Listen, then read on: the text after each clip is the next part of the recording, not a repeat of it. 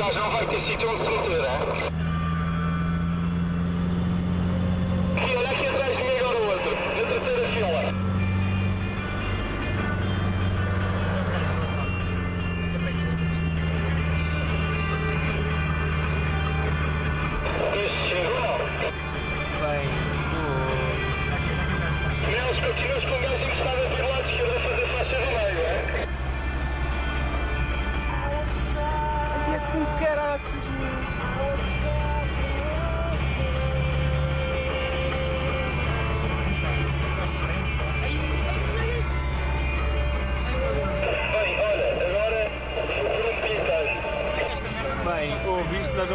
as on a spice mill.